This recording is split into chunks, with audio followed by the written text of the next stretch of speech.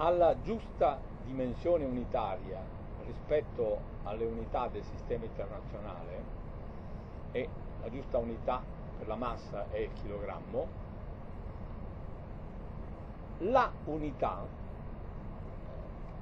riferita alla massa materiale, ossia oggetto di una divisione in due campi opposti tra loro, materiale e antimateriale, l'unità è data dal rapporto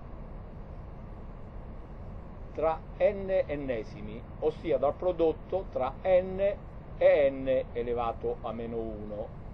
Ora è evidente che il valore n dà luogo all'intero, mentre il valore n alla meno 1 dà luogo ai decimali.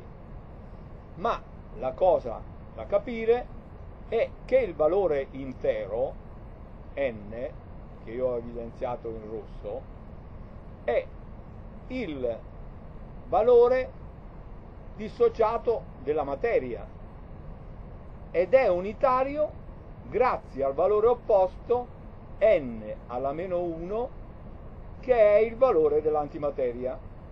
Per cui alla giusta dimensione unitaria è assolutamente errato individuare una unità e aggiungervi i decimali visto che è possibile averli andando a osservare nella struttura unitaria.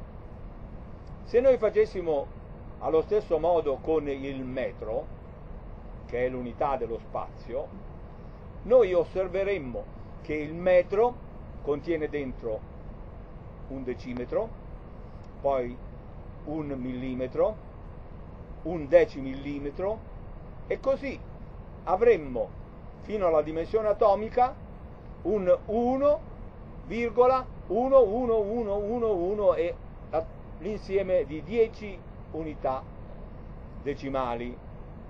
È chiaro che un metro è solo un metro e se noi andiamo a osservare quello che è osservabile nel metro, le altre unità osservabili, ossia il decimetro, il centimetro, il millimetro, li troviamo.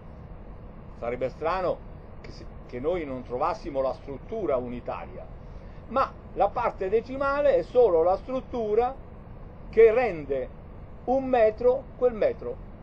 Quindi noi, se vogliamo l'unità, dobbiamo fermarci al metro, alla dimensione unitaria del metro. Mi sembra evidente.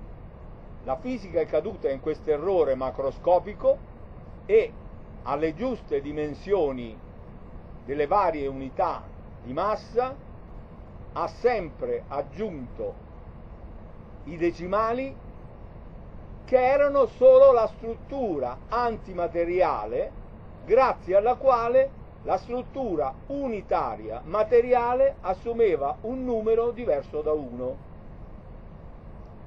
Quella dimensione è unitaria perché a quella dimensione il prodotto tra la massa materiale e la massa antimateriale da 1.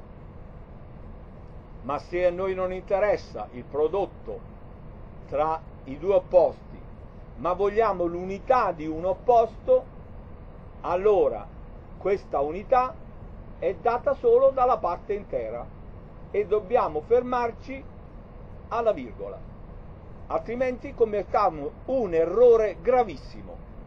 Questo è la causa, una delle due, dell'attuale mancanza di unificazione nella fisica.